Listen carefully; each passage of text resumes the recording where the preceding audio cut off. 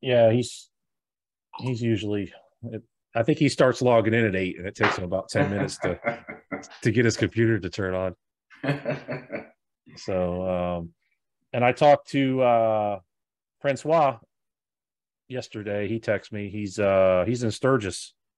He's uh, on the way, or he's in Sturgis. Yes. Yeah, he's up there on his. He sent me some pictures of his motorcycle and stuff. It's pretty Is nice. that North Dakota? South is it north or south? North, north or south? I think Sturgis is South Dakota. I think. Yeah. Oh, okay. Yeah, I've never. I've always wanted to go, just to go, but it's, I- it's a little. In his book, I read uh, in detail about the trip he did before, you know, uh, taking the bike cross across country. So uh, it's quite amazing, you know, that I never experienced that whole biking thing. No, no. I gave up on that when I got into bodybuilding. Uh, kind of same, you know. I mean, I was Yeah. a couple of weeks on the bike and uh, had a little incident, and think this is not going to uh, be No. healthy or end up good for me. Yeah. Not the way they drive out here. Have you seen the way they speed between cars on the highway? And I, JP, I know you've seen that out here. Oh yeah, oh yeah. They, they, they zoom between the cars. Yeah, I didn't know you. Got, uh, the first time I went to California, I, I saw that, and you It's the can't do that. craziest You can't do that over here. You can't go in between cars. It's the craziest thing I've ever seen. Yeah, you guys are allowed to do that, I guess. Yeah. Yeah. Yeah. Hey, what's the rules on passing on the right side in uh, on the freeway in Florida? What do you mean? Can you pass left and right a car? Uh, yeah, you can pass as long as it's a lane. Or you mean to go Yeah. outside the lane on the right side? No, in, in, in you know in Europe you can only pass to the left of the To the car left and side only the right. Oh no, you Left can. side only. Yeah. No, you can pass on either side on the freeway. Yeah, all right. Yeah. And they did that. They don't have that rule in, in America. You can pass. It doesn't matter what lane. If it's open, zoom. Oh yeah, Mm. Yeah. All yeah. right, what what do we talk about? Whatever you guys want to talk about. So then we had some, we had a great show. You guys had a great show down there huh, last weekend. Yeah, the Tampa. We were we were talking about before we started recording. It's incredible. I mean, that show is just. I mean, the date is not ideal, but the show is great. Mhm. You know, and I don't know. It used to be the last one before the Olympia, not anymore. huh? There's more to come now. How, Yeah. how many more shows are there before the Olympia? Well, there's Hmm. Texas this weekend, and then I don't know what else is left there. Hmm. So the open, I think the field is pretty much set. There's one more spot or so, uh, other than uh, whoever gets in by points. So Uh, when was Atlanta? Have We already had Atlanta. I don't know about Atlanta. Oh. So the open was very interesting. I watched a little bit of uh, Chris Aceto, Hansen, and Dave talking about it. I heard. Yeah, Chris was a little upset, huh? Yeah, I mean, you know, I- wasn't there, and and Chris totally agreed with him. It's funny that you know, first when I looked at the pictures of the pre-judging, I kind of had Kamal winning again, being very careful if you're not there. Mhm. And then uh, kind of changed my mind. So after listening to Chris, I went back and looked at it in details again. And yeah, he does have a point, you know. And it reminds me, uh, you know, I, I don't know. It's Akim is sure back, back where he was when he plays sixth, more or less. You know, now I hope he can get a little harder, but uh, you know, Kamal, it's amazing that quality. Yeah? You know, I Mhm. mean, he has it's like a, a young guy. Yeah? He's Mhm. 51 years old. You hardly ever seen that. Not even Dex had that young look in the last couple of years. Yeah? You know, he was just kind of barely hanging on to it. You know, where you see like the stomach not washed out, the legs the same size still. It's Mhm. just like you know, would you? It's incredible. Um, he must do a lot of stuff right, or started very late in his career, and partially genetics. I mean, I'm very impressed with the guy. Yeah, I didn't. I didn't know he was 51. I knew he was up there, Yeah. close to 50. I didn't realize he was 51. Wow. Yeah, Now he's not going to the Olympia. He's retiring soon. I no, heard. no, he's going to the Olympia Going 212. to the Olympia. Hmm, okay. Oh, okay.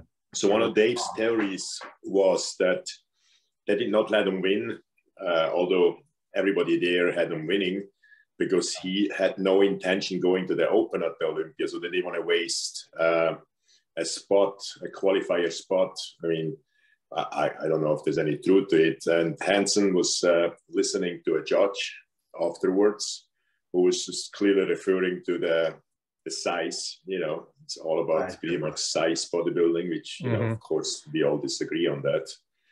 And uh, yeah, I mean, it was a very interesting show. Also in the 212, um, you know, Keone, even with like 90% shape, won yeah. that pretty easily. Yeah. Yeah. So that was pretty impressive. So uh, I'm gonna heads up to my uh, friend Patrick uh, in Switzerland, who's coaching him now. I mean, wow. you cannot deny that after he switched to Patrick, he just made a big jump, you know. So yeah, he reminds me of a little bit of Brian Buchanan and a little bit of Robbie Robinson. Yeah, absolutely. Like, you know, the structure is just incredible. Crazy. Now I'm really curious if he can get a little harder. I mean, he has to be a little bit harder. How does he fit in with uh, Derek and um, what's the little guy trained by Matt? Oh, uh, yeah, that's crazy shape, man. Who played? Who, who won two years ago? I mean, look at that. I mean, it's yeah, as good as it gets. Yeah. yeah, it's hard to beat. What do you think that is? About a 25 inch waist? You know, it looks that small. I tell you, it's probably about 27, 28, believe it or not. But with that vacuum, mm-hmm. those small joints, and it, it, it appears, I mean, the, the illusion is incredible. Mm-hmm. I mean, I would have to see a lineup without doing the vacuum, but it looks exactly. pretty much. But that vacuum makes incredible. the pose. I mean, he's you know shapes just off the chain. So I I, I don't know how uh, Chris in any way could criticize that and have him have the other guy. What's what's the other guy's name? Have the other guy winning? I, I just don't see that.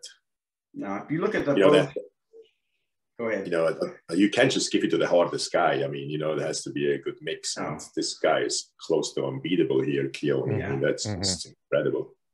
Yeah, shape, symmetry, and balance is just crazy. It's kind of a before and after. Yeah. Well, that was the Olympia last time. He competed in the 212, but you know, mm-hmm. he kind of totally over dieted, had some mental yeah. issues there, and then mm-hmm that you know that I, I, think he was already better then. He just didn't mm-hmm. get it together. Yeah. yeah, yeah. I'm very very impressed, and it would be nice. Uh, what's the guy who won the Olympia two years ago on the 212? The short guy. Uh, Clarida.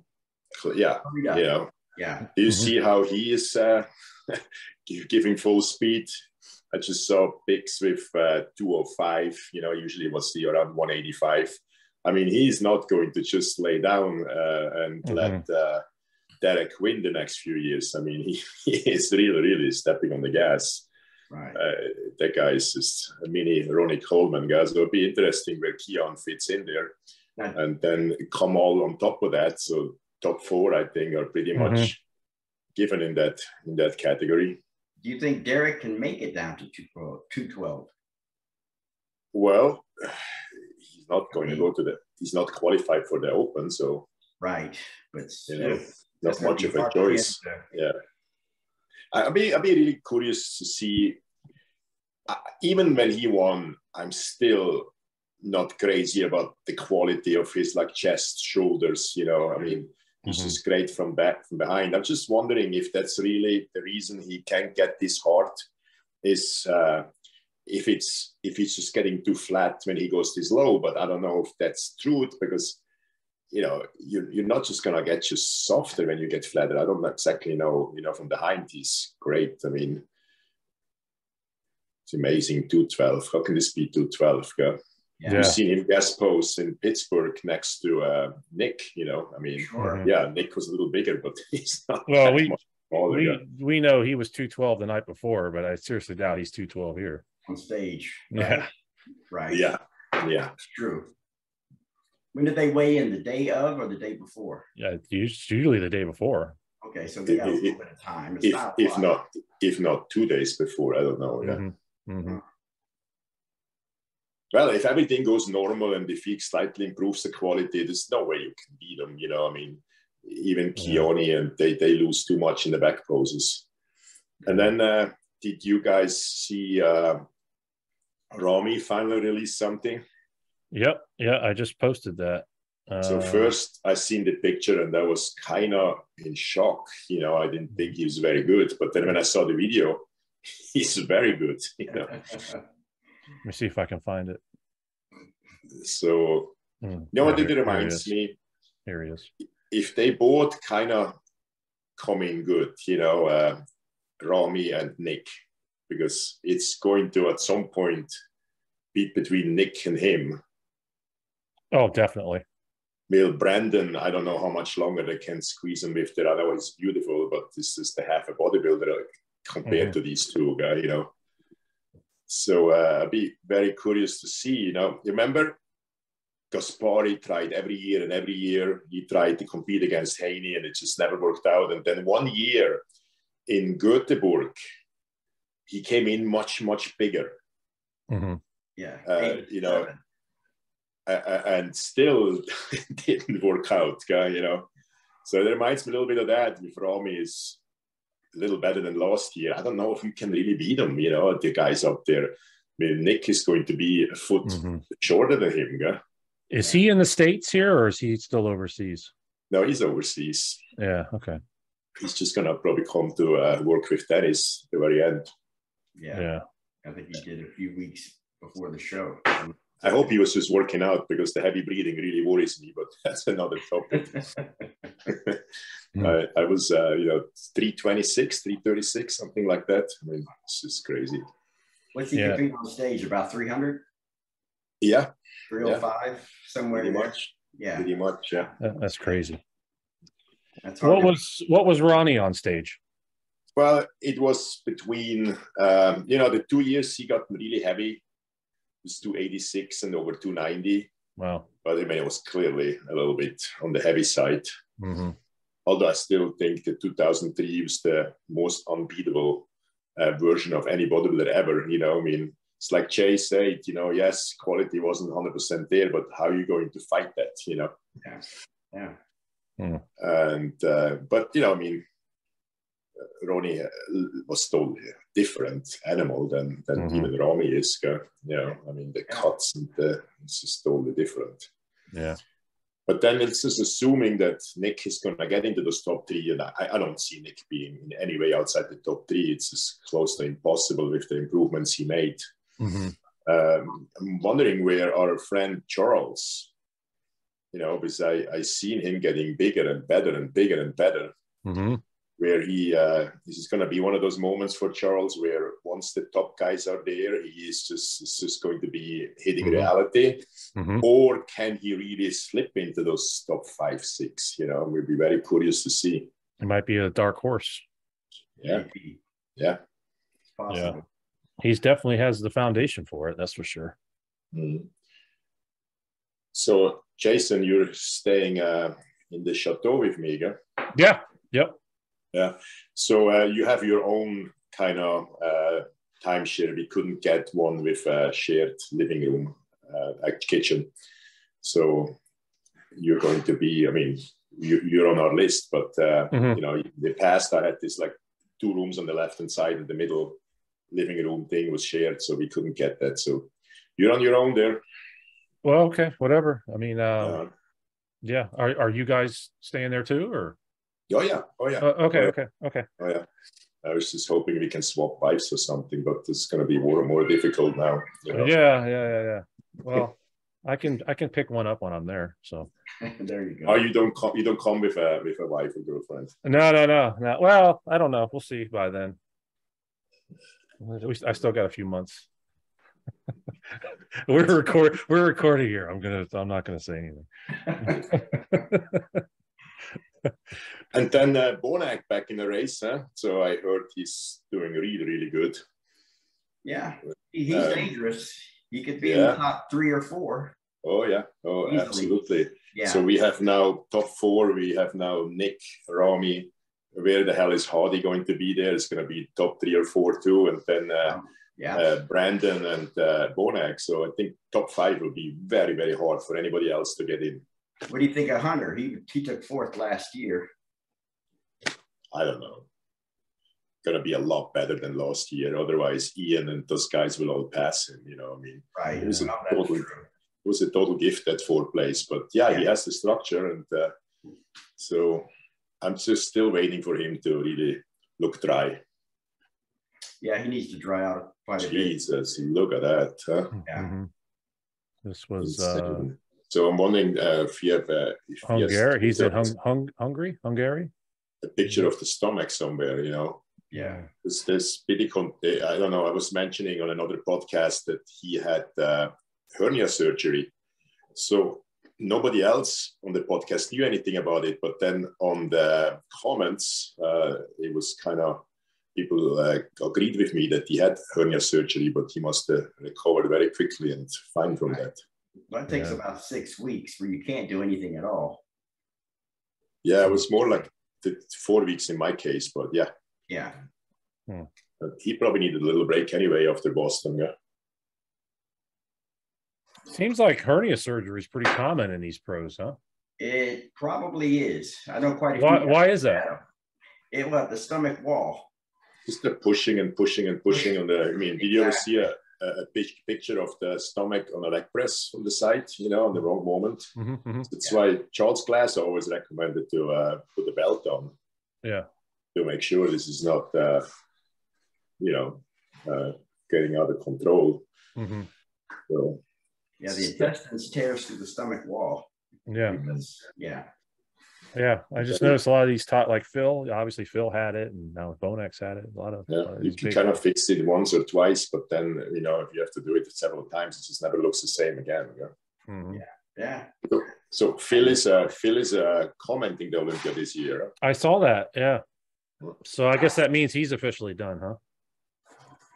Oh, I think so, but you know, Yeah. we'll see. Yeah. You know, Arnold was officially as a commentator in Australia in 1980. Do you remember? Mm. Right. And then That- decided to then they decided to take the shirt off and compete. He, he might pull something like that off. Uh, it could be. It could be. He he'll come talk in between. Uh, you know, prejudging and the and the finals. Did Arnold, did Arnold not say, "Well, I- I'm here and I'm already in shape, so why not?" hmm Hmm. Yeah. Why I always I always take my posing trunks with me, no matter where I travel. You never know. right. You can jump on stage. So you did you did compete, yeah? I did. I did. I did. Uh, I did a couple shows here locally, and then I uh, I did Pittsburgh. So So how did Pittsburgh go? uh, not well, not well. I think uh, I learned some stuff from it. I definitely learned I needed to travel sooner. I, Mhm. I, I flew up the day before, and it, I got layovers uh, in a couple airports, and wow. I ran out of food, and I was scrambling, and it just my conditioning just wasn't what I Mhm. wanted it to be. So So you competed in uh, over 40? yeah, the over 45. I did the classic physique this year and I, Hmm. I I shouldn't have. I should have stuck with bodybuilding. When I did when I did it 2 years ago, I got fourth. Hmm. And this year I think I got I got second call out. I was sixth.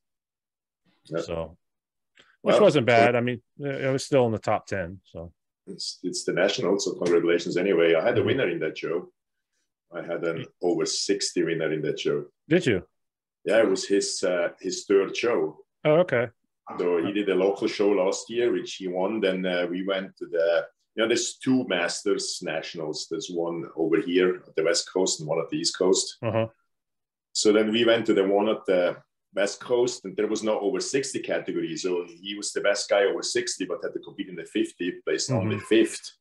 So then Pittsburgh now is third show, and he won. I was pretty happy about Oh, that. good.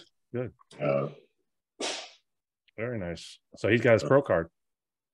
no, they gave two pro cards uh, in the overall, and he was not in the top two. Uh, He was third in the overall. So, I mean, uh, you know, it's his third show, so it's not to get carried away. I, I don't quite understand pro cards in the Masters. What, what are they for exactly? Uh, well, you get. I mean, you can. There's our Pratt Master Pro shows.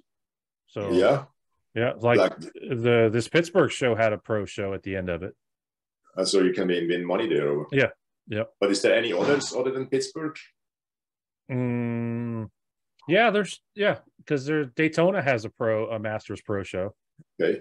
Yeah. Like in Bikini Masters, there's shows all over the place. Yeah. Yeah. Yeah, I think the I think these local shows are, are starting to pick up on because you know Mhm. you're seeing 40 50 year old guys that are look look really good Yeah. so Yeah. I and they're, and they're getting a, still- big, a more of a demand for it still kind of amazing that they have a 35 year old masters category. I mean, 35, you're hardly in your prime. They're, Yes. yeah i was gonna say most most guys are winning their olympias when they're 35 you know Exactly. Uh, yeah, uh, right. so, yep. Here's an interesting story. You guys hear about the release of Berto Fox out of the St. Kitts prison? No. yeah i saw that uh Yeah. somebody On the what posted that. ground? Yeah, after 25 years. It's like a pardon, or or was he had pretty much life? I guess they gave him, he had a life sentence. Well, He got originally- parole. Originally, he had a death sentence, right? He was due to Yeah. hang. And then supposedly, this is a rumor I heard, Arnold got in touch with the government over there and got him off death row. Then he got life in prison. So he was there for 25 years. Now he's been released. Is this been 25 years? It has been. Okay. I mean, Yeah. Good. Good for him. I don't know how I feel about it, but good for him. Well, I mean, 25 years in a St. Kitts prison has got to be a nightmare, man. Prison Oh. anywhere is a nightmare, but especially in Oh, St. yeah. Kitts. you know, he did slaughter two people, yeah, Right. Right. so which are not here. Yeah. Yeah. But you're mm. not here. Yeah. That's true. let's see if i can bring All right. So I think he was, uh, what I heard, he was quite a celebrity before that over there right, in St. Kitts. Oh, absolutely. Yeah. Yeah. He was the island hero. They said he went from hero to zero.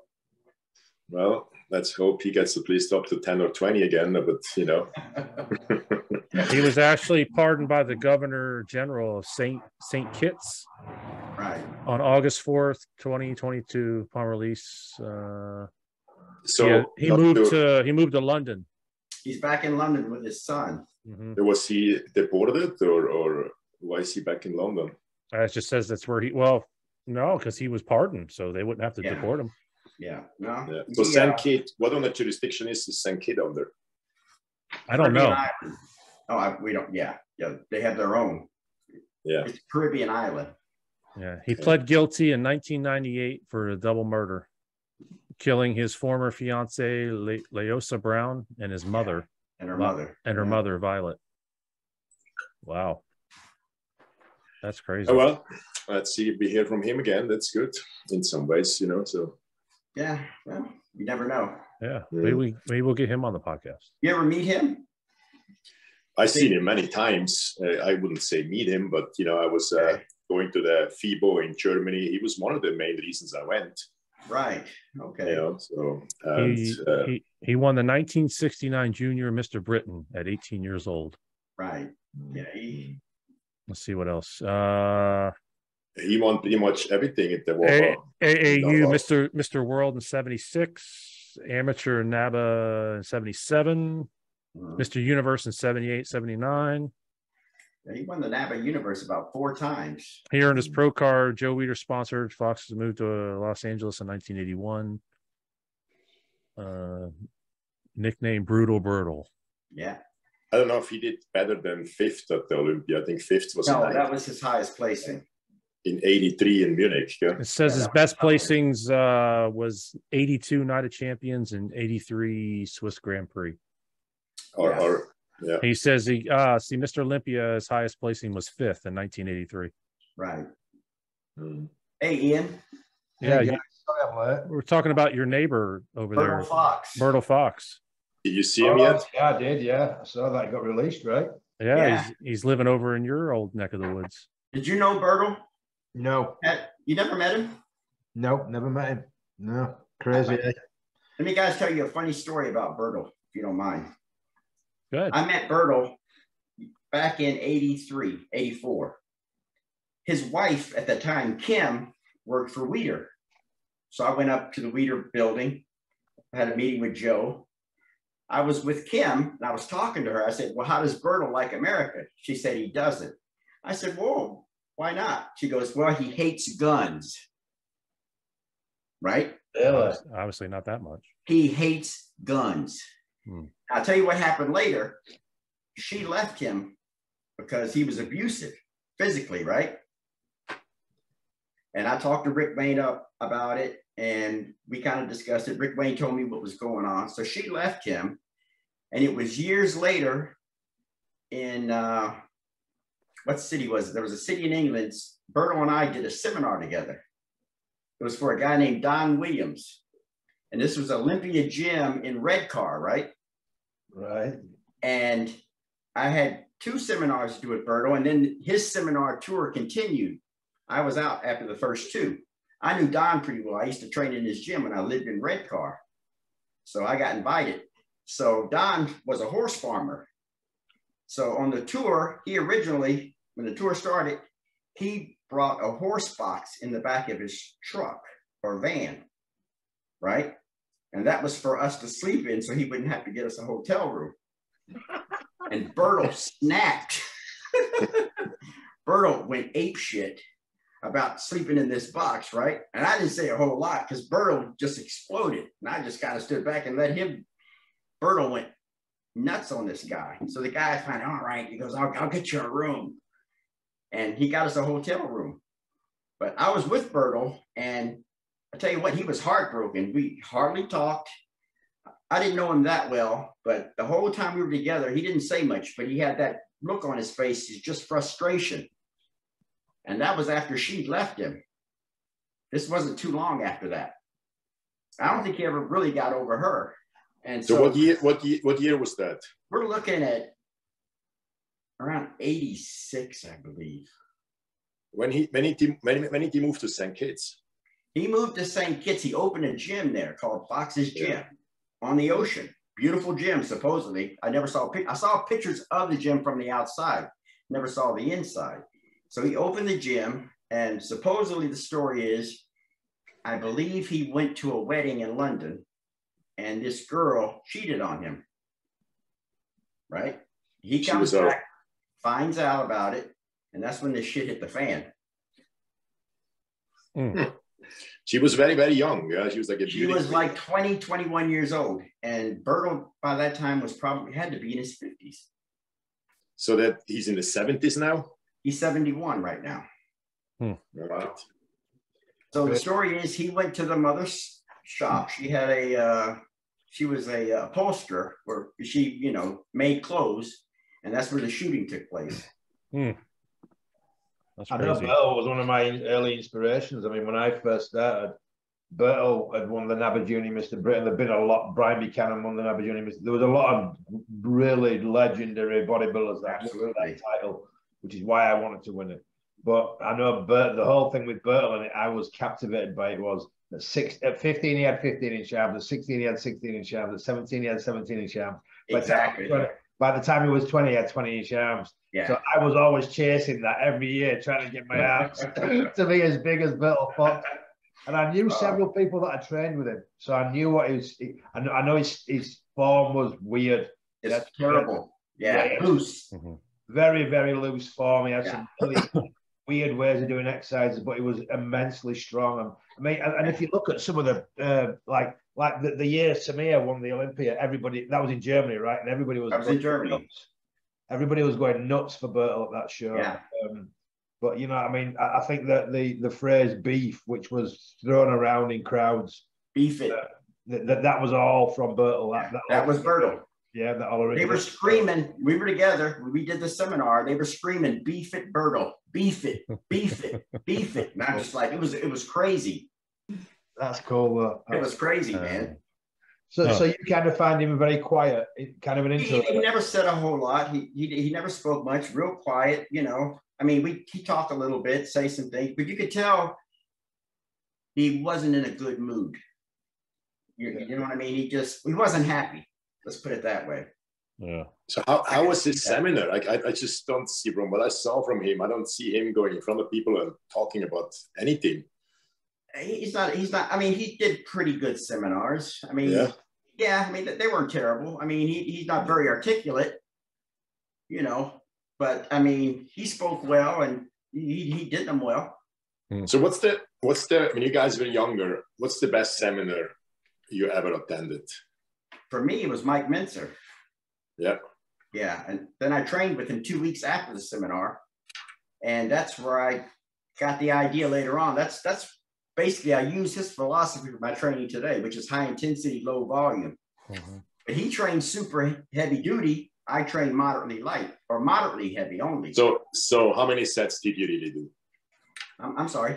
How, how many, many sets did he really do per body part? You know, he says, you know, he did two warm up sets, and his third set was all out to all out failure. So he's the, you know, we're looking at back something like 10, 12 sets, chest, eight, nine sets. I mean, pretty low compared to what a lot of guys do today. Mm-hmm. Yeah. But the third set was taken to all out failure. So the first two were getting ready for the third. So pretty much what I did, you know. Yeah, maybe. Mm-hmm. Yeah. I mean, it's simple training and it's very basic. Basically, compound exercises for the most part. Mm-hmm. But I, I did do uh, a lot of machines. I, I like the machines a lot. But I did, you know, for back, I did seven exercises, one set. But yeah. often also, you know, depending on what exercise you switch to, you need one or two, I wouldn't call them warm up set approach sets. Yeah. Yeah. So yeah. Once once I was warmed up, every set was the failure. I, I didn't I didn't I didn't do two prepping sets. As soon as I was warm, it was balls out, all in. Going I mean, de- depending on what exercise I switch to, I could do that. But when you're gonna switch from uh, to deadlift, example, for example, and you know, I I wanted to do yeah. like seven, four reps for 700 pounds. You know, you can't just put 700 pounds up. Yeah, no, yeah. No, you don't want to do that. You're right. Yeah, for sure. What what, what was your favorite seminar growing up, John Pierre? Who, who did you like to see? Uh, I've seen a lot of bad ones. a lot of bad ones. What's the worst? What's the worst one you've seen? A guy who uh, stretched for uh, 30 minutes. He was talking so slow. I mean, I wanted to freaking die. he was just about stretching. First 30 minutes, he was European champion and uh, second at the Miss Universe. Holy moly, was that bad! Uh. Uh, the best one not so much do I remember what he said, and although there was a translator, but just when it came to his aura, to his, uh, you know, the, the, way he looked and everything, the way he spoke was Tom Platz. Yep, that was mine. That was my yeah. favorite. I would imagine that would be the best one. Yeah. Yeah. Tom yeah. Platz was incredible. I, I mean, sorry, go on. None of the seminars I went to, you really learned much. You know, they didn't tell you anything. I don't know if that was just usual back then. You know, you were a bit you'd be happy to find out if they even take steroids, you know? Yeah. so. And you, did but, you have to uh, pay for them back then? I do not remember if I had to pay for it or not for yeah. this one. I don't think so. Yeah. But mostly if you had to pay, it was like 10, 20 bucks or so, you know? Right, so, right. Uh, but I remember um, I was living in Zurich, uh, but 16, 17 years old, and I heard in the radio that this uh, guy with the biggest legs of all time is uh, having a seminar. And it was the long stairwell coming down to the gym, and he had this white uh, white Christmas sweater on, but just cut out enough to see his chest, and he was so tanned, and then a white sweater and his smile. I bet that was the same seminar tour that I saw. What year was that? Do you know? Was it like uh, 82, 83?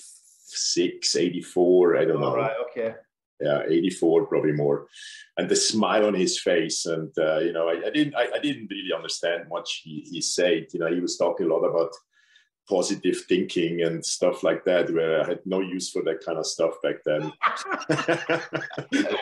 I'll tell you what, Tom Platz made six figures a year on seminars alone. Oh yeah. Hey, he, he had he 60 seminars. Amount of money. I bet. He had, he yeah. had 60 seminars in like 90 days, what I remember. Yeah in, in Europe. So imagine the money he made just yeah. doing seminars alone. Wow. Uh, I saw him guest pose in Sweden once, and he, he came out and they were cheering. They were I was going to ask, did, did, he guest pose a lot? Yeah, he did. I did. He did. Mm-hmm. Tom Platz was a very, very popular bodybuilder. Very popular. Oh, immensely popular, yeah. Yeah. Mm-hmm. yeah. In fact, growing up, I think Lee Haney and Tom Platz were my two idols. Yeah growing up. I'll tell you a funny story. Tom Platz and I went to the same high school in Kansas City, Missouri. You told His us this father. before, I think. Yeah, I remember Yeah, that. yeah, I kid you not. We had the same gym coach, a guy named Max Hayes. So I showed him a picture of Tom in 78 after Tom won the university. He just looked at it and goes, I said, This is what you want to do? I said, Yeah, I'm gonna I'm gonna be just like that. And he just looked at me like I had a problem, like, you poor kid. Why would you want to do that? He looked at me, he said, Why would you want to do that? Yeah. I said, Oh, this is great. I said, Look at this. And I, I, I, I was like a, you know, 17 years old at the time. Mhm. And he, Hey, and, you know I always very much admire about him? Uh, the moment he chose to retire, he didn't qualify for the Olympia for the very first time. I think you had to be top three. He Top, pla- I think he he uh, competed in Florida, and he placed fourth, and walked away Yeah, I remember because that. he looked good. He looked good, you know Good. and that's exactly how you should do it. You know, most people, uh, you know, probably including me, they make up an excuse and uh, this and that and so on. So, but if you're good and you don't qualify for the Olympia, go do something else. Yeah, Mhm. I tell you, you remember he tore his bicep. yeah. Yeah. I was in the Yep. gym. It was Gold's Gym in Venice where he tore his bicep. And I was there when he did it that day. Wow. And then from there, he That was one of the Gold's Gym. funniest things at the seminar because he was talking about it Mhm. and he was saying that uh, people are saying that the left and right arm they look totally different now and uh, through his like positive mental kind of thing he got the arm back to normal and uh, this is the proof and he made a double biceps pose and one arm was gone but he, Yeah.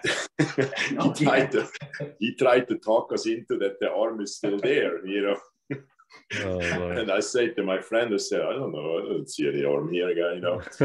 but uh, yeah, I remember he did the demonstration on a leg extension machine, and it was like a Gym 80 Yeah. uh, brand. And you know, it was very, very heavy, the whole stack. And then you could kind of shift to the right, and then you could double the weight. So for all of us, when we doubled the weight, it felt like it's welded together, you know, it just not freaking move, you know. Mm. I did not see him warm up or anything. And he was sitting on that machine, double up the weight, and just did like freaking 30 reps, like a freaking maniac, screaming and yelling. And, you know, and, and- and it doesn't matter. Form was terrible, but it doesn't matter. Just to move that stack. I mean, the guy had so much strength. I mean, it's unbelievable. His intensity was legendary. Absolutely. Oh, it's Yeah. mind, boggling. Yeah. I remember seeing I, on that same seminar tour. I was 16 years old. I'll never forget it. And I went to see him in a place called Ossett, Ossett Town Hall. And um, I, I he'd, he'd just written a book. I, that was probably the same. He, he just brought his own book out, right? Right. Remember, you I remember remember that, book. JP? And he just wrote, I, he brought a book. I, I don't. I don't. I'm Yeah. pretty sure he just brought a book out, and I'm, obviously I bought the book, got him to sign it, and I got my picture taken with him. And then years later, I'm at FIBO. This will be 1995, probably.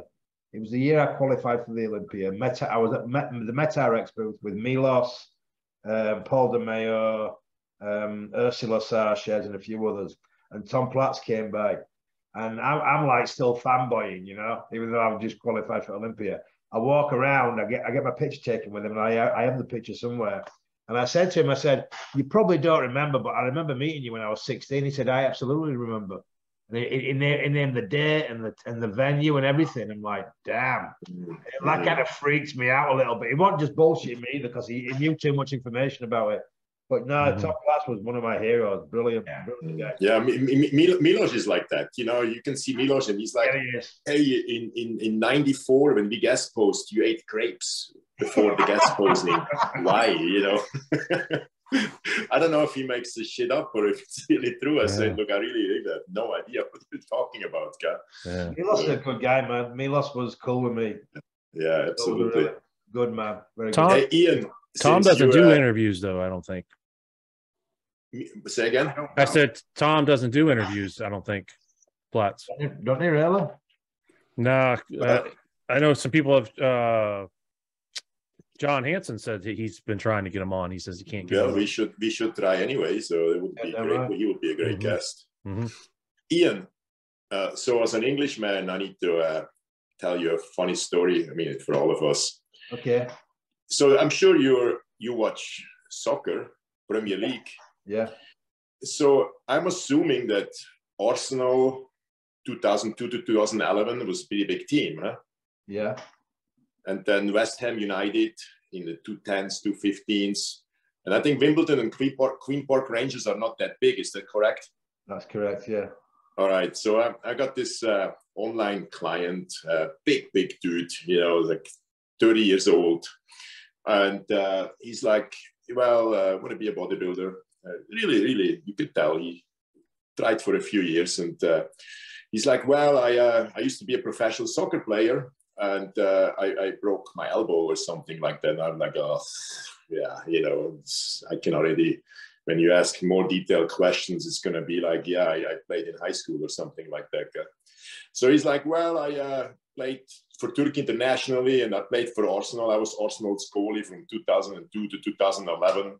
Wow. And then for West Ham, 2013 to 15, and I and I and I started. Uh, we were on a video call, and I started googling, and the guy was uh, wow. He's like really, he was uh, wow. He was, uh, he was the goalie for Arsenal between 2002 and 2011 and he was Turkish national goalie, you know. Oh, So um, now he wants to be a bodybuilder, so we'll see how that goes. I look forward to work with him. I'm sure he should have the right attitude to, uh, mm-hmm. to train hard. Yeah? Absolutely, yeah. yeah. Absolutely. But uh, I'm positively surprised. You know, because the last time I heard from somebody, I was a soccer pro, was the German guy who turned out to be a total scam.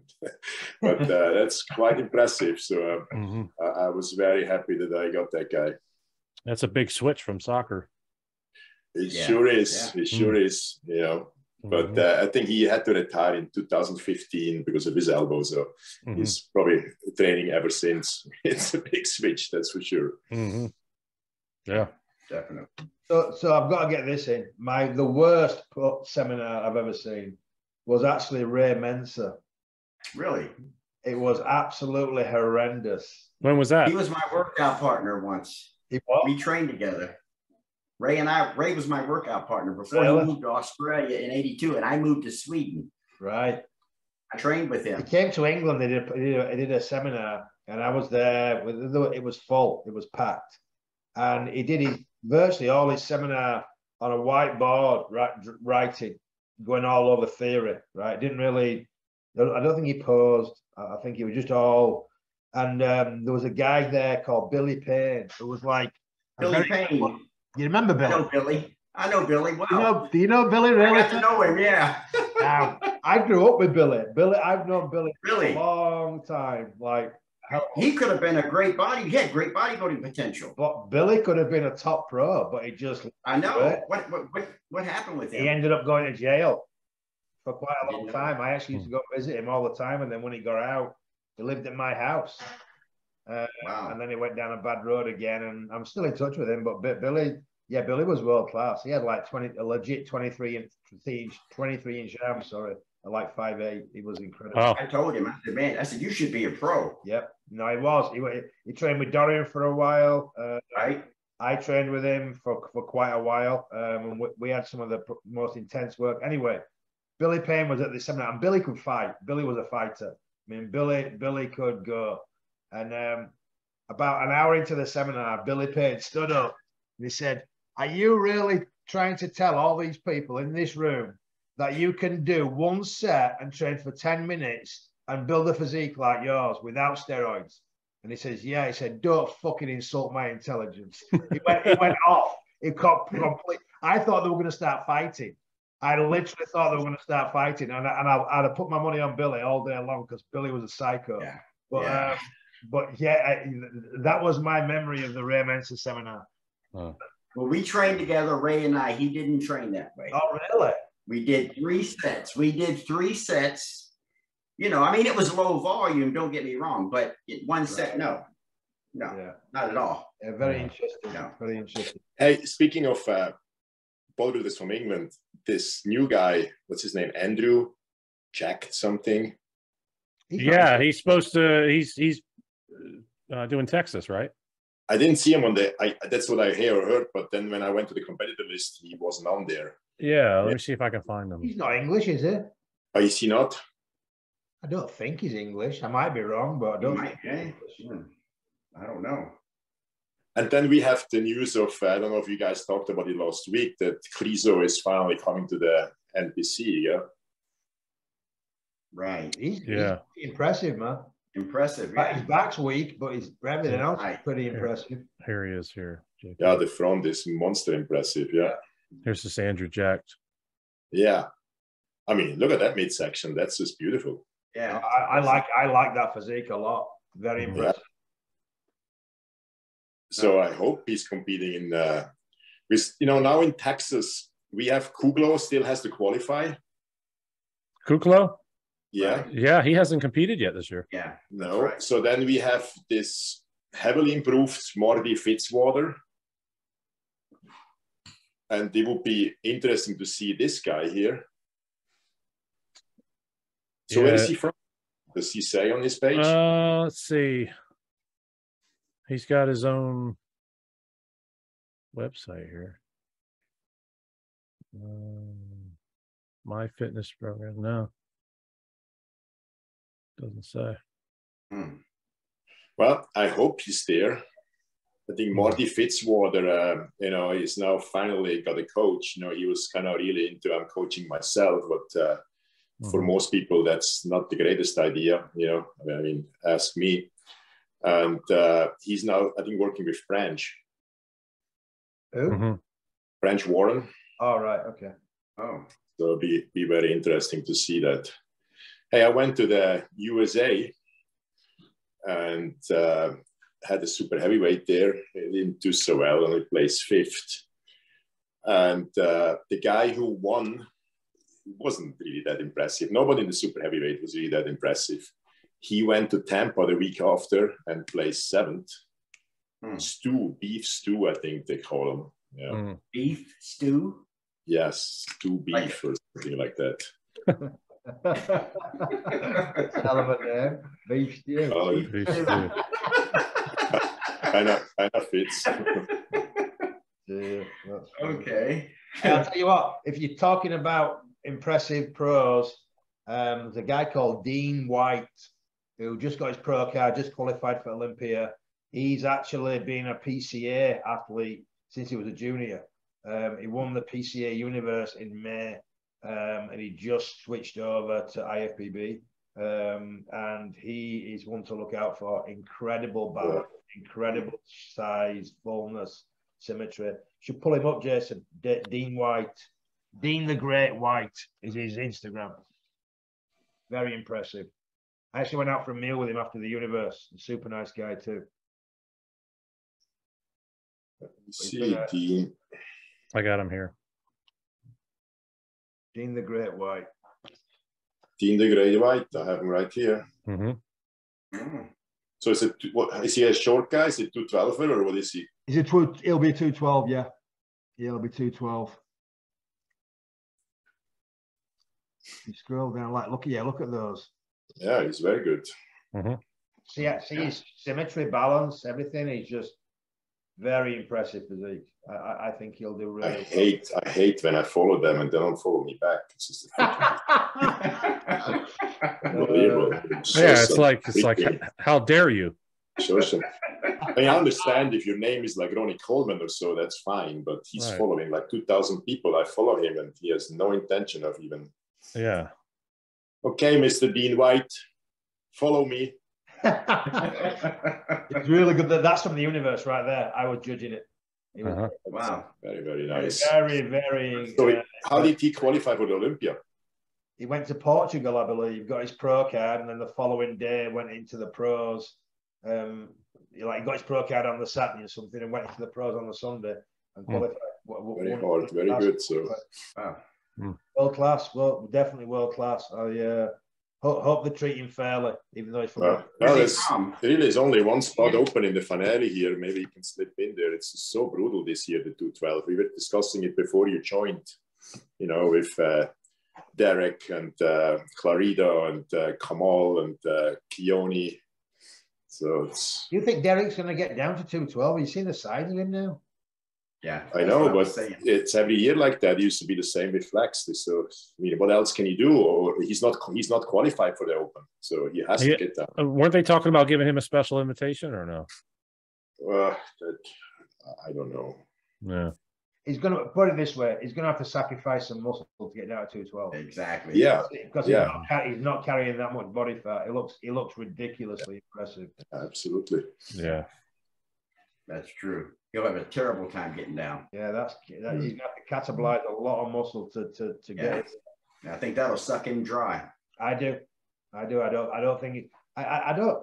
When you when we were competing, JP, I don't know. Like when you, but there, there wasn't a two twelve. It was an o- open. No, That's why everything everything was was competing in the open. I mean, everybody was in one class.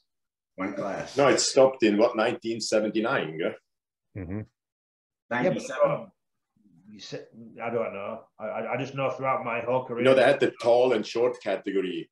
And right. did not uh, Fr- Frank win the Frank Zane won, guys, 79.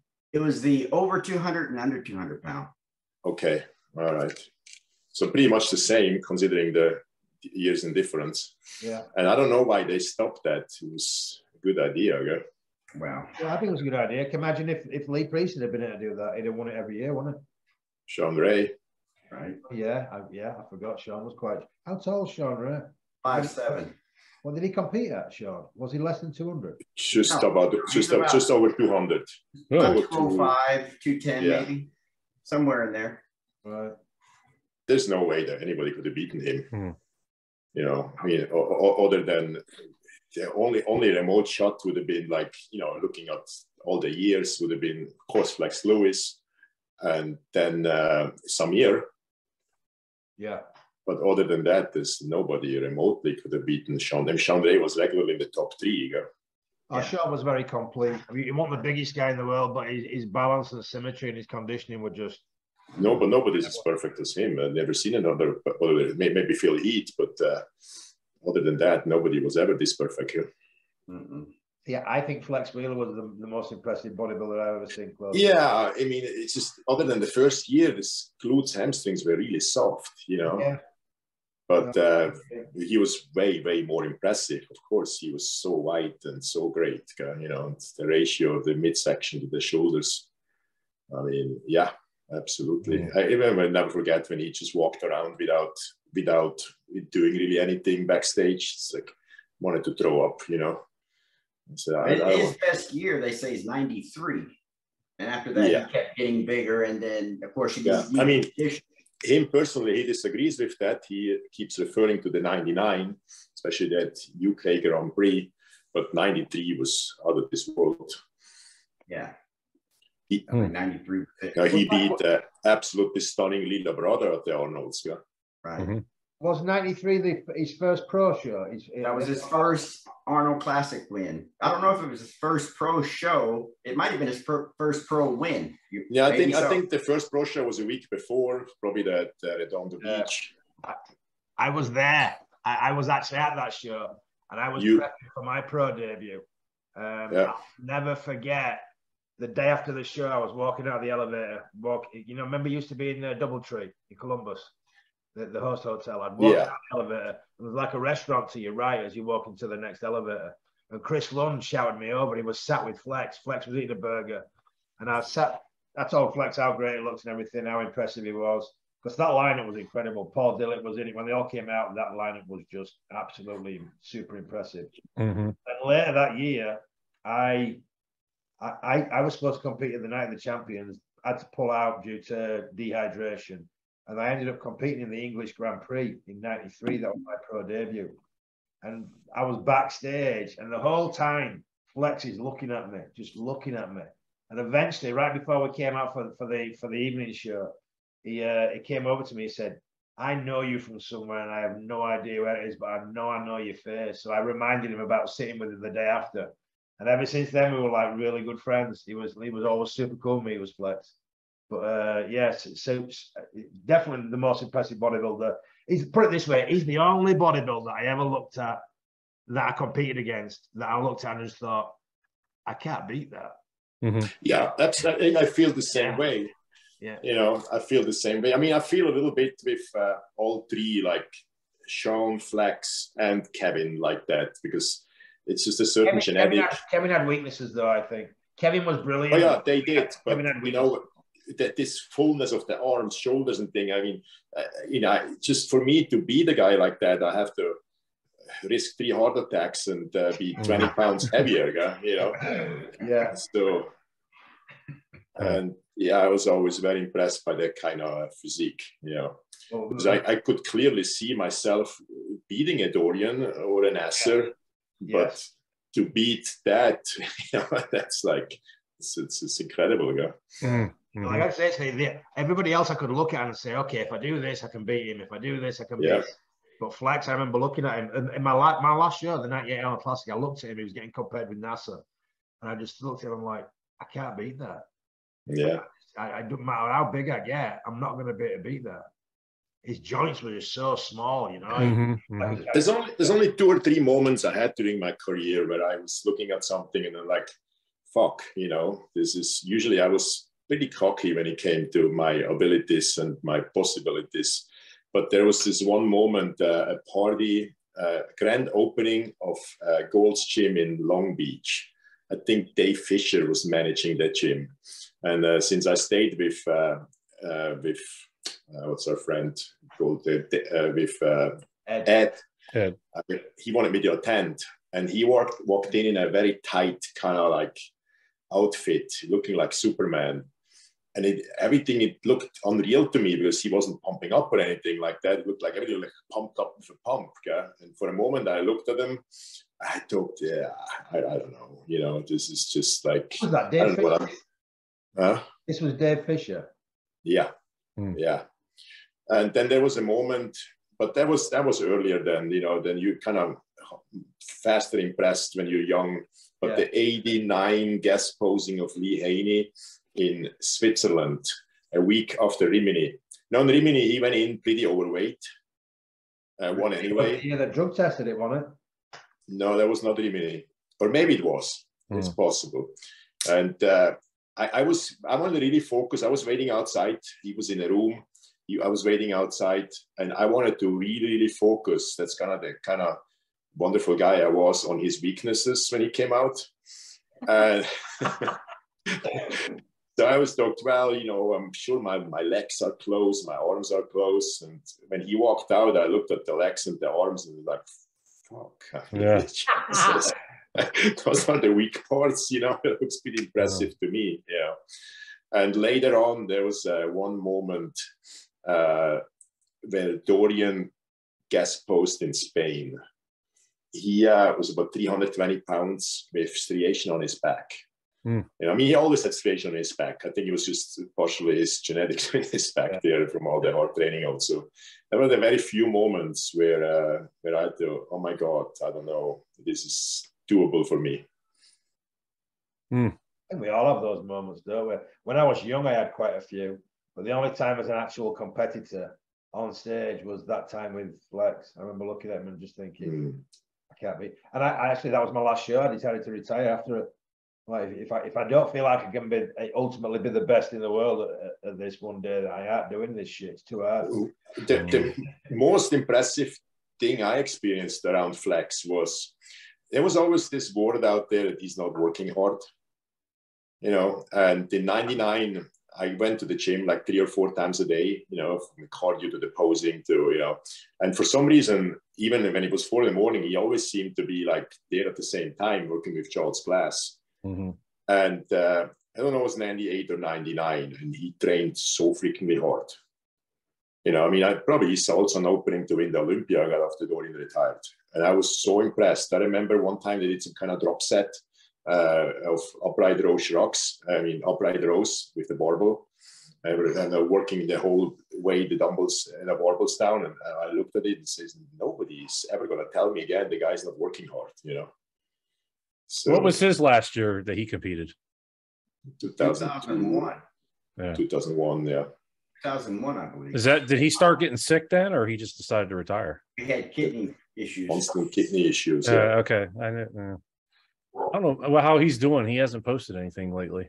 Well, he does. I follow him yeah. really quite religiously, and uh, he had he was in the hospital again for a yeah. shoulder surgery, and Right. Got very depressed. What I saw from his postings because the pain was unbearable. Yeah. Uh, at some imagine. point, he started to really worry me. This he was supposed to be an in and out procedure, and you know, mm-hmm. the same day, but he had to stay there like for a week or longer. And at some point, he started to even say goodbye, and you know, it was very worrisome. So I'm glad he's out of that, hmm. doing better. Yeah, that's good. Mm. Yeah. I remember at the on the, the 95 Grand Prix tour, um, we did so the Olympia was on the Saturday. The following Thursday, I believe, was the Spanish Grand Prix in Madrid. We all got up the following morning, got on a coach, went to the airport, flew to Stuttgart for the German Grand Prix the day after on the Friday. And when we landed, me and Nasser had to carry Flex into a cab, and he went straight to hospital. And he stayed in hospital. His kidneys failed on that. Really? Yeah. Yeah. So, th- so they were shutting down way back then too, huh? Oh yeah, yeah, yeah. I mean, I, I, am pretty certain that was down to the um, the diuretics that they were using, um, but I'm, I, I don't know for sure. I mean, I, I don't know for sure, but that's kind of what I assume. Um, but yeah, I remember carrying him. Me and Nasser carried him into the and put him in the cab, and I think he was in hospital for 17 days straight. Wow. It was yeah. kidney related. I know that. Mm. Wayne DeMilia had a talk with all of us. You know, I lose. I used diuretics two weeks in my whole career. Diuretics. You know, when I when I as an amateur, we always had the drug tests. I couldn't take them, mm. and then um, uh, when I became pro, they implemented the drug tests there. So the only time I could take them was uh, 96 and one week 97 at the European Tour. It's the only time where I took diuretics in my whole life. Did you notice a difference? Oh yeah, it helped me yeah. tremendously. Yeah. Oh, absolutely. Yeah. But well, they, just, test, they had a test for diuretics at one time, right? Yeah. They, every show I every show I competed 96, 97, 8, mm-hmm. 9 really? was uh, was tested. Okay. Hmm. Other than the European tour. After Mohammed Benaziza died, I think they were really clamped down on it then. Yeah. That's when they really clamped down on the on the on the, on the uh, diuretic testing. I took it for my pro debut. I took Aldactone um, and it nearly killed me. So I never ever used them again. Scared, mm-hmm. scared the crap out of me. I took Aldactone with potassium.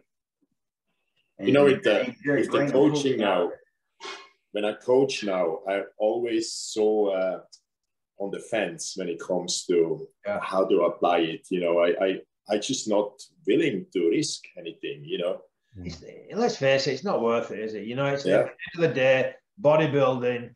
I, but then I do see sometimes when I look at the pictures later and I see my athletes on stage said, yeah, you know, a 10 milligram of Lasix or 20 would have really help, but I, I, just I just can't do it. You know, it's just either either the normal kind of procedure I'll do, the Dyazide a little bit on Friday and maybe a half on Saturday morning.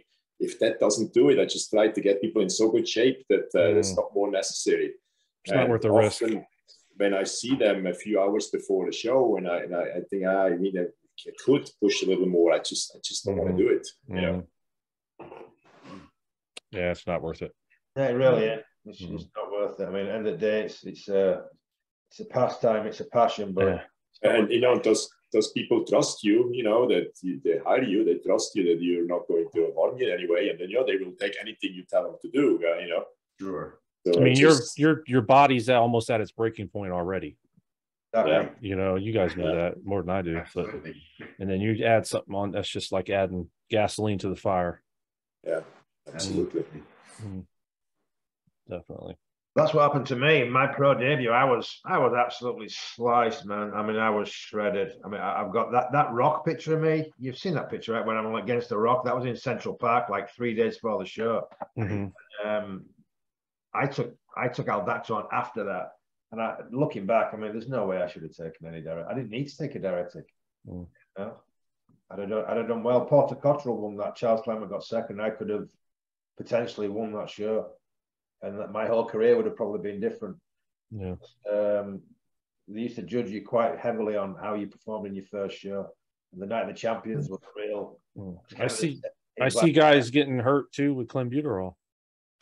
Yeah, if you go too heavy on it. Take it. Well, these guys they'll take it year round. I think women more take it more than men, right? I remember a guy dying backstage in Brazil, taking clenbuterol to get a better pump. Yeah. Really? Wow. Yeah. Oh, absolutely. And clenbuterol is I think it's really, really dangerous. Yeah. And just think about what it does and just look at the side effects. And I, I used to take it regularly uh, in my preps. The first week was absolute hell. Yeah. I, I could not even really train hard. So first of all, I had to double the minerals, and then I had to just kind of for a few days go to pump workouts because the cramps Yeah. in the body part I trained were so severe, you know. And, and this was at the beginning of a prep, you know, when I had plenty of water in my body. Mhm. Yeah, that is just, you know, today, thank God, I think a lot of the clenbuterol is not that strong or, or fake, you know, because I, I keep asking sometimes my athletes, so how you feel about, you know, the first week clenbu- clenbuterol? They go, I don't feel anything. So I know it's not the same stuff we used to take. Mhm. Now, what, medically, what is that for? What's its purpose? Asthma, It's supposed to be for asthma, but I don't even think they prescribe it anymore in the U.S. Okay. Yeah, I, don't- I I, don't- I remember how I, how I came across clenbuterol. Uh, Katrin Krabbe, the German sprinter, was uh, taking the gold medal at the World Championships away in 100, in the 100 meter and 200 meter sprint. She, I think she won both.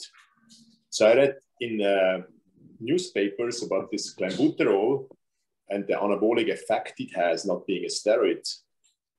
So I think that's when everybody started to jump on that. I never heard of it before. I, I didn't use it much. Oh, Yeah. No, never used it. Heard of it, but Mm. didn't know what it was for. yeah. I'm Phil, what did you use anything like thyroids or anything or any fat burners back in the days? No, no. Just doing. Did you do cardio? I'm sorry. Did you do cardio back then? You know, I started cardio in my first first year I did cardio for a show was in 82. And that was for the Open European Championships in Sweden. So I did So- cardio. That was the first time I did cardio. Before that, other than No maybe cardio. walking on the beach a little bit, nobody did cardio. Nobody did cardio back then. Nobody. Ian, did you do much cardio? No, Yeah. no. The the, be- the very best I ever looked was the '95 Olympia, and I did not do one second of cardio for that show. It was Wow. Oh, I- I- I did a ton. I did a ton of cardio. No, I was never a cardio fan. I, I mean, I, I did implement cardio with other preps when I wasn't getting lean, as lean as I wanted to. Um, but I, I did a minimal amount, and I, I, I'll be honest with you, I do a minimal amount of cardio with my clients. I was going to ask you, your clients now, like, But some clients don't respond as well as you want them to to the cat Mm. to the, the diet, and you don't want to drop the nutrients too low. mhm. So then I implement cardio. yeah, my, my cardio was minimum this prep. I did 30 minutes tops, Yeah, and that wasn't every day.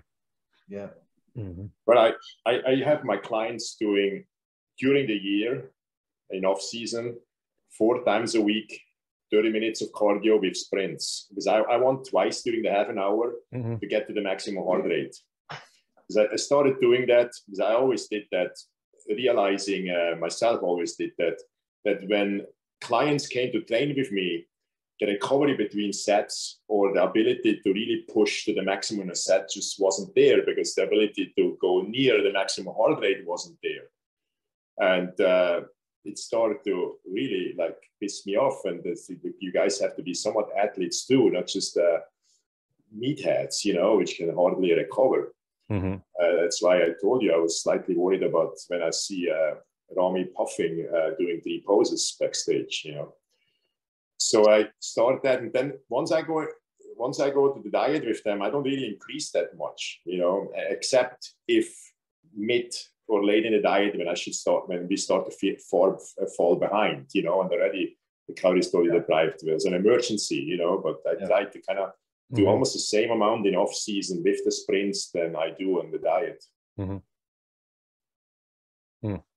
I want to see the number. I want you to put the heart monitor on. I, I want to, depending on your age, I want to see the number. How far up can you get your heart rate? You know, Mhm. I- But how, how, how close to max heart rate are you looking to get? it? What's the percentage? uh, 220 minus your age. Okay. I remember that. Yeah. 220 minus your age. And you know, and if that's not the case, we have to start working on it. And then otherwise, I start to seriously be worried. And if we can't get near that, uh, I'm going to send you to a cardiologist. You know, Hmm. to see what the reason is. I had this one bodybuilder finding me uh, that uh, he can't get near that because his heart is so strong.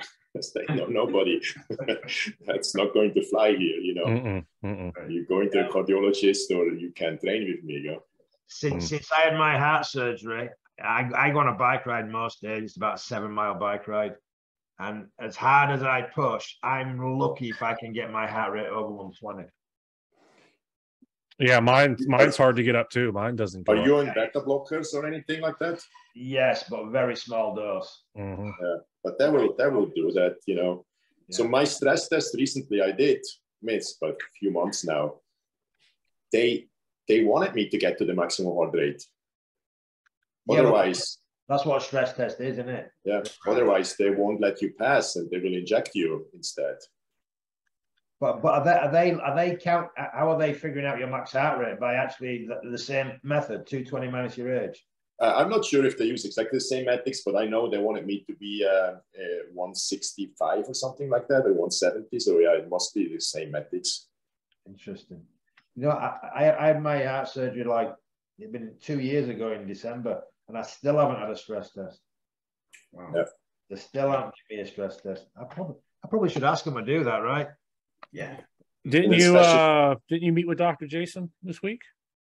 No, I'm, I'm getting my bloods done tomorrow morning actually. I oh, tomorrow. to him. I go see him uh next week, next Friday.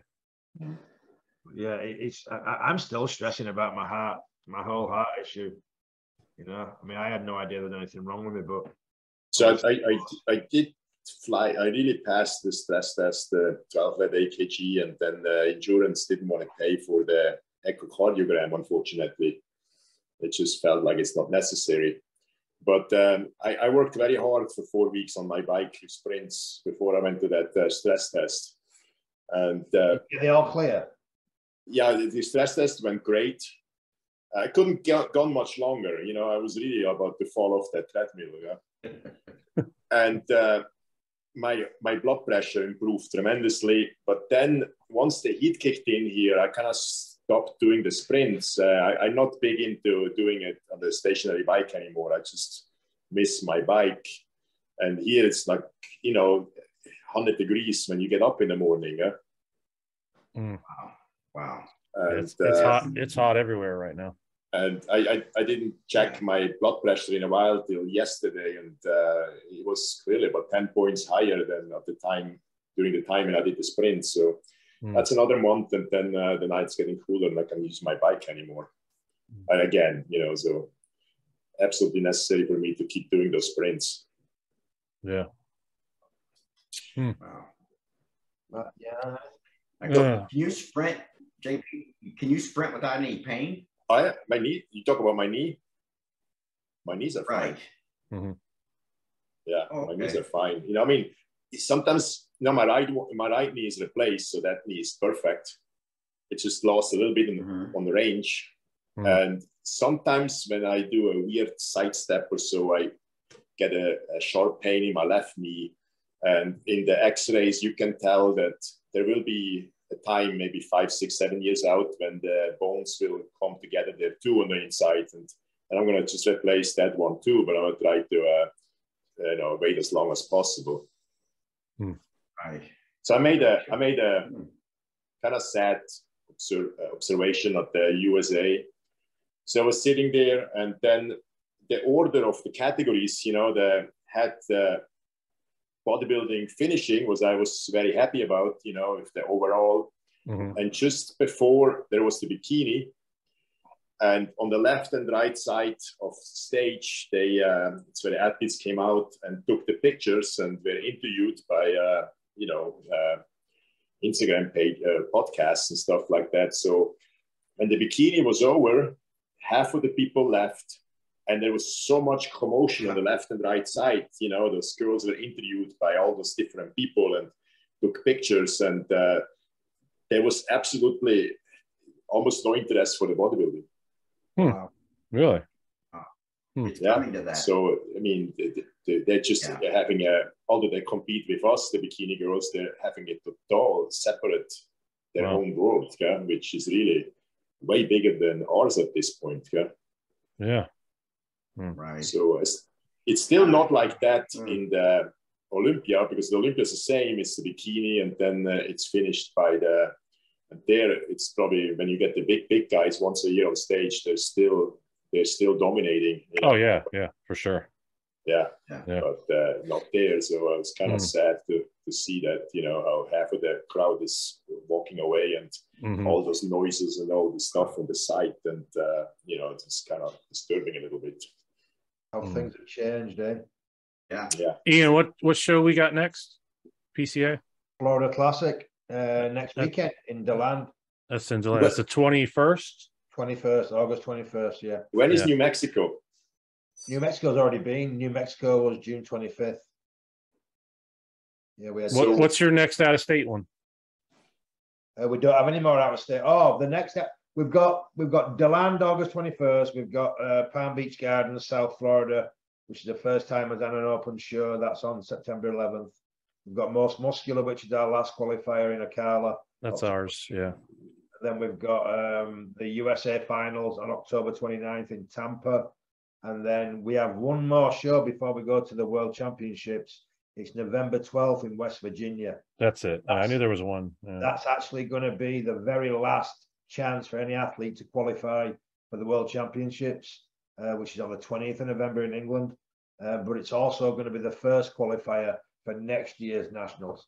For next year, Are you guys having a good year when it comes to growth and you know? brilliant? Yeah, it's been it's definitely been our most successful year so far. Uh, we, we actually gave um, we, we got a new uh, bodybuilding pro at the Maryland show, Chris Quick, excellent athlete. Um, I'm really excited to see him compete internationally. Uh, Mhm. But yeah, it's been, it's been it's been a good. I think we um, next year is going to be even more, probably more shows out of Florida, and we'll probably do a couple less shows in Florida, um, just because Florida was kind of our home where we started from, so we had more shows there. Mhm. But the, the show like the Kentucky show, Maryland show, they've all been a really big success. So um, we've we've already got shows. I'm lining one up in Indiana. I'm lining one up in Ohio. I'm lining one up in New York. I'm lining one up in Texas. Uh, Are all your your categories lining up with the NPCs or like even fitness? Yeah, more or less. I mean, we, we, we have we've got bikini, uh, wellness, but we also do a class called train bikini, which is kind of halfway between bikini and figure. Um, then we have three. We have basically three figure classes: tone figure, um, train figure, and women's physique. Basically, so they're going up in in, in, In the classic bodybuilding, you, did you take over the weight and height restrictions No. from the NPC? no, no, no, we don't. We don't use any of those. There is no height weight restrictions with our classic. Oh, good.